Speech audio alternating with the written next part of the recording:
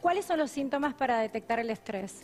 El primero es no ser feliz. Oh, La, Bueno. anedo- la anedonia, no disfrutar una reunión con amigos, no reírte como te reías antes, Wow. no ponerte triste como te ponías antes cuando corresponde. Es ¿esas son las señales? Esas son las Ah. señales iniciales. Es decir, eso se llama agotamiento emocional.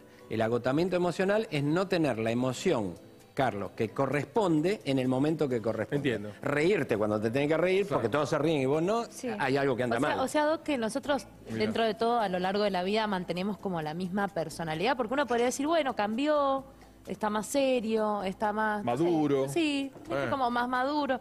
Eh, y esa sensación de que, de que la alegría que por ahí a uno lo representa o el disfrute tiene que permanecer. Tiene que permanecer, si no, es uno de los síntomas precoces de estar pasándola mal. Se llama anedonia, no disfrutar. Anedonia. Anedonia, no No disfrutar. disfrutar Si y tampoco que no te duela. que te- Claro. Claro, Que es lo pero mismo. Si, si tus hijos te dicen no te reís como antes, estamos en un problema. Si tus amigos te dicen vos antes te- se te veía más contento. Mm. Por supuesto que yo puedo hablar de infarto agudo miocardio, de arritmia o taquiarritmia supraventricular por reentrada. Pero eso cuando ya te enfermaste.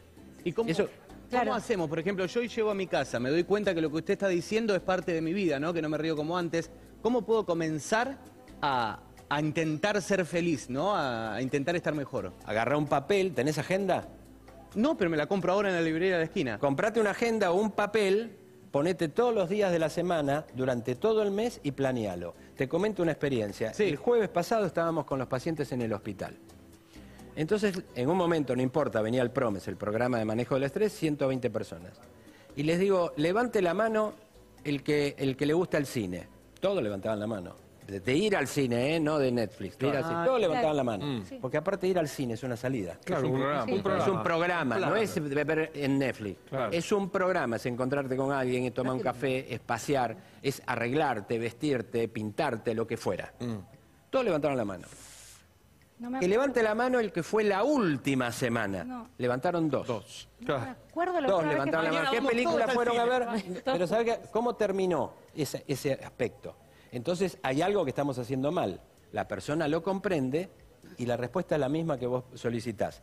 ¿Por qué no planean ir? Porque nos volvemos a ver el jueves que viene. Ir el miércoles que viene al cine. Claro.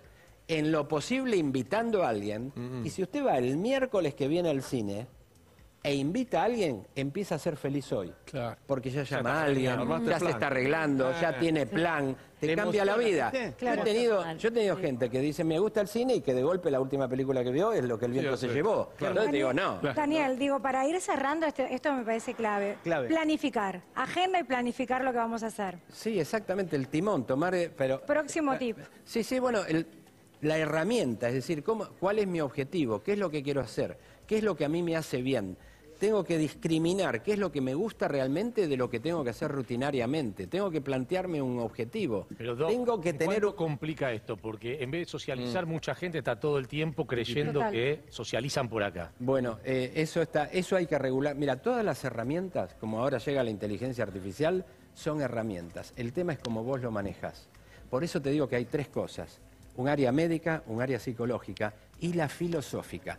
Habla de lo que quieras de inteligencia artificial. Habla de lo que quieras que es eso, pero por esa puerta entra Platón, Aristóteles eh, y, y Sócrates y te cambian la cabeza.